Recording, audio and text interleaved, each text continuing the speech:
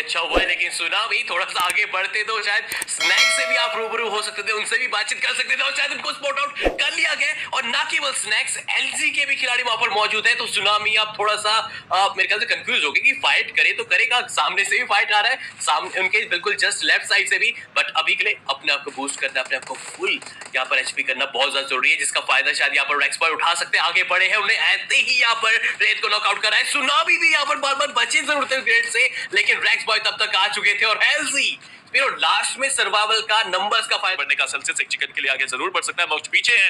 Ninja को spot यहाँ पे करना ज़रूर जा सकता है। देखिए स्नाइप यहाँ पे रिवाइवल की प्रक्रिया को शुरू करते हुए। बट निंजा को यहाँ पे स्पॉट कर दिया जाता है। निंजा को स्प्रे देने की कोशिश। निंजा ने जो डिस्ट्रैक्शन क्रिएट किया, वो काफ़ी ज़्यादा शानदार था। दोबारा से रिवाइवल की प्रक्रिया को शुरू करना चाहेगा। मेरे ख्याल से मोक्ष को कवर अब देना चाहिए। निंजा को टेक डाउन करके।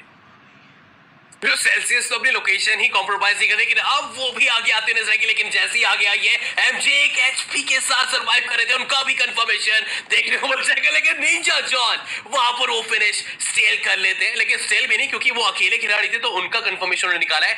जो चाहते थे हैशटैग टू पाना वो उनको मिल जाएगा, लेकिन हैशटैग टू आ चुके हैं तो अब नज़र रहेगी हैशटैग वन में, लेकिन क्या ये कैपिक वन वी फोर निकाला जा सकता है? फिर दिक्कत क्या है? दिक्कत ये कि उनके पास कोई हाइडिंग कोई स्पेस नहीं है, कोई यहाँ पर उनके पास कोई कवर नहीं है, कोई सॉलिड रॉक सॉलिड कोई कवर नहीं कोई ट्री का कवर नहीं है तो ये थोड़ा सा दिक्कत दे रहा है, और प्लस अभी तक हार नहीं मान। रही ये जज्बा गाइस चाहिए हर खिलाड़ी की तरफ़ से हमें, कि आखिरी खिलाड़ी क्यों ना बचाओ, लेकिन अभी भी वो कोशिश कर रहे थे कि नॉकआउट निकाले।